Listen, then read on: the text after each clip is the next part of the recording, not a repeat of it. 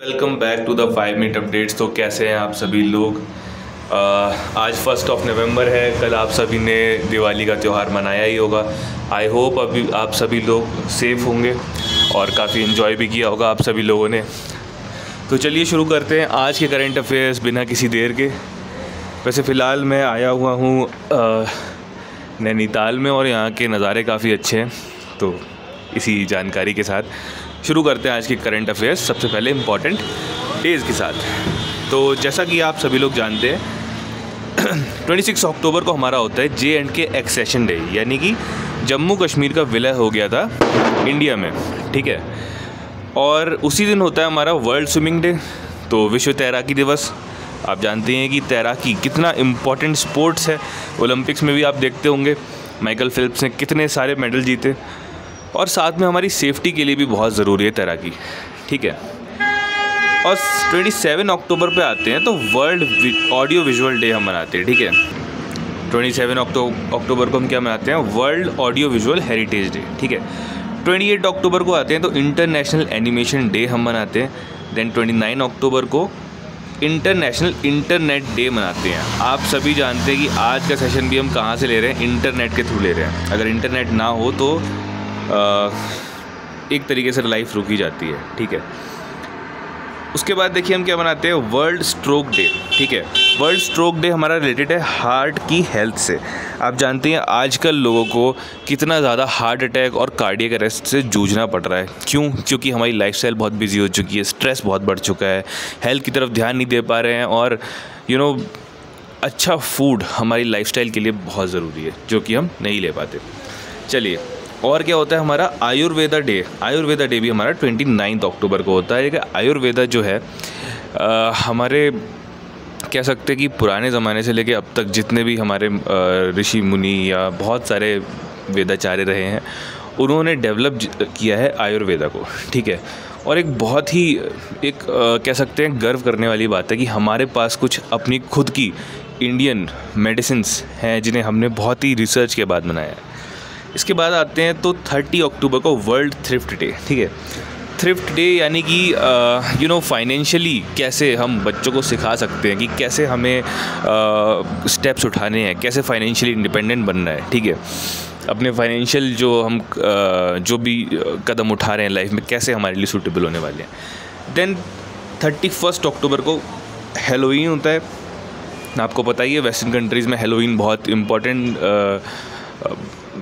Day है, वहाँ पे आप देखते हैं जैसे घोस्ट वाले जो फैंसी ड्रेसेस होते हैं, लोग वहाँ पहनते हैं इस दिन। और एक तरीके से थोड़ा लाइट्स का भी त्यौहार है, जैसे दिवाली में होता है, ठीक है। इसी के साथ national unity day national unity day हम क्यों मनाते हैं? भारत रत्न सरदार वल्लभ भाई पटेल जी की जो जयंती है, उसके यानी उनकी जो बर्थ एनिवर्सरी है, उसके उपलक्ष्य में हम मनाते हैं नेशनल यूनिटी डे ठीक है। और उसी दिन हमारी सेलिब्रेट की जाती है रन फॉर यूनिटी ठीक है रन फॉर यूनिटी नाम का इवेंट हम सेलिब्रेट करते हैं, जिसमें दौड़ होती है, सब एक साथ दौड़ते हैं। ठीक है? देन आ जाते हैं आज की तारीख, यानी फ़र्स्ट नवंबर को। हम क्या मनाते हैं? नेशनल ऑथर्स डे ठीक है? लेखक मतलब राष्ट्रीय लेखक दिवस। और अभी अभी लेखन से ही रिलेटेड है कि उत्तराखंड ने अपना राइटर्स विलेज स्कीम अभी चालू की है। यानी कि लेखक गाँव नाम की एक स्कीम उत्तराखंड ने भी चालू करी है। तो आप जानती हैं कि शांति होगी तो वहाँ पे आप अच्छे से अपना यू नो लिख पाएँगे, अपना ये सारे काम कर पाएँगे। तो और कौन सा दिन है इस दिन? देखिए नेशनल विनेगर डे और वर्ल्ड वीगन डे देखिए वीगन क्या होता है? वीगन एक तो होता है वेजिटेरियन लेकिन वेजिटेरियन लोग भी मिल्क प्रोडक्ट कंज्यूम करते हैं, ठीक है? और मिल्क प्रोडक्ट हमारा लिया जाता है एनिमल्स से, ठीक है? जितने भी मतलब डेयरी प्रोडक्ट्स होते हैं, वो एनिमल से लिए जाते हैं। लेकिन वीगन लोग इसके सख्त खिलाफ हैं, क्योंकि जो डेयरी प्रोडक्ट हैं, जो हम एनिमल से ले रहे हैं, उसके लिए एनिमल्स का इस्तेमाल कर रहे हैं। उनके बच्चों के हिस्सों का, हिस्से का दूध हम ले रहे हैं। साथ में जब एनिमल दूध लेने लायक नहीं रहता, उसके बाद उसे स्लॉटर कर दिया जाता है। तो एक तरीके से वो एनिमल्स हमारे लिए जान दे रहे हैं। सिर्फ़ हम उनसे दूध ले रहे हैं, इस वजह से उनको पाल रहे हैं और बाद में उनको मार भी दे रहे हैं। तो ये जो क्रूरता है इसे रोकने के लिए लोग वीगन बन रहे हैं आजकल। देन ऑल सेंट्स डे ठीक है? आप जानती हैं, सन्यासी से जुड़ा हुआ है, ठीक है? देन कर्नाटका फॉर्मेशन डे ठीक है? कर्नाटका फॉर्मेशन डे देखिए, इसी दिन कर्नाटका का फॉर्मेशन होगा। लेकिन किस साल में फॉर्मेशन हुआ था, ये आप मुझे बताएँगे कमेंट सेक्शन में, ठीक है? कमेंट सेक्शन में बताएँगे आप मुझे। देन हरियाणा डे भी इसी दिन होता है। यानी कि हरियाणा का भी यू नो फॉर्मेशन हुआ था। और हरियाणा का फॉर्मेशन किस ईयर में होता है, ये भी आप मुझे बताएँगे कमेंट सेक्शन में, ठीक है? तो चलिए, अब बढ़ते हैं आज के करंट अफेयर्स की तरफ़, ठीक है? ये एमसीक्यू क्वेश्चन होने वाले हैं। और आप मुझे इनके करेक्ट आंसर बताएँगे और कमेंट भी करेंगे, ठीक है? तो देखिए, पहला हमारा हो जाता है according to the data release by the ministry of commerce by how much percent has the production growth of eight major sectors of India increase ठीक है तो ये आप बताएँगे। तो देखिए, इसका करेक्ट आंसर क्या हो जाएगा? इसका करेक्ट आंसर हो जाएगा हमारा ऑप्शन ए यानी कि एक मिनट ऑप्शन ए यानी कि टू परसेंट ठीक है टू परसेंट हमारा इसका करेक्ट आंसर हो जाएगा। उसके बाद बढ़ते हैं अपने सेकंड क्वेश्चन की तरफ़, जो कि है at present what is India's position in terms of investment in satcom services sector globally ठीक है? तो देखिए, वर्तमान में भारत वैश्विक स्तर पर सेटकॉम सेवा क्षेत्र में निवेश के मामले में किस स्थान पर है? तो इसका करेक्ट आंसर आप मुझे बताएँगे। इसका करेक्ट आंसर हो जाएगा, देखिए फोर्थ यानी कि डी ठीक है फोर्थ डी ऑप्शन देन बढ़ते हैं अपने थर्ड थर्ड क्वेश्चन की तरफ़। जो कि है recently the seventh anti submarine warfare shallow water craft dash launched for the Indian navy ठीक है तो इसका करेक्ट आंसर आप मुझे बताएँगे क्या हो जाएगा? इसका करेक्ट आंसर आप बताएँगे क्या हो जाएगा? इसका करेक्ट आंसर हो जाएगा अभय। तो अभय नाम का एक anti submarine warfare you know जो है वाटर क्राफ्ट जो हमने अभी लॉन्च किया है, उसका नाम है अभय। ठीक है? फोर्थ क्वेश्चन पे आते हैं तो where was the climate and health Africa conference 2024 organised recently ठीक है, हाल ही में जलवायु और स्वास्थ्य अफ्रीका सम्मेलन 2024 का आयोजन कहाँ हुआ है? ठीक है, कहाँ हुआ है? तो इसका करेक्ट आंसर आप मुझे बताएँगे। इसका करेक्ट आंसर आप मुझे बताएँगे क्या हो जाएगा?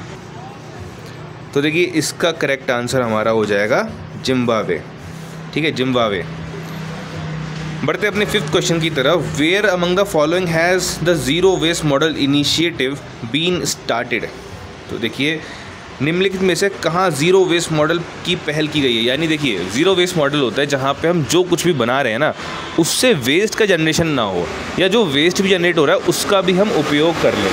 ठीक है? तो ये कहाँ पे हुआ है? ये कहाँ पे हुआ है? ये हमारा हुआ है जयपुर में। ठीक है? जयपुर में। और देखिए, नीचे फिगर में आप देख सकते हैं हमारा fourth anti submarine war, warfare craft, जिसका नाम है अजय। ठीक है, अजय। यहाँ पे मिस प्रिंट हो गया है। अमीनी लिखा है, अमीनी कोई वॉरफेयर क्राफ्ट नहीं है हमारा। अजय नाम है, ठीक है? अजय। तो चलिए बढ़ते हैं अपने अगले क्वेश्चन की तरफ़, जो कि है when was China's belt and road initiative B R I sometimes known as the new silk road launched ठीक है? तो इसका करेक्ट आंसर आप मुझे बताएँगे? इसका करेक्ट आंसर आप बताएँगे। उसका करेक्ट आंसर हो जाएगा 2013 ठीक है 2013 ठीक है 2013 में लॉन्च हुआ था।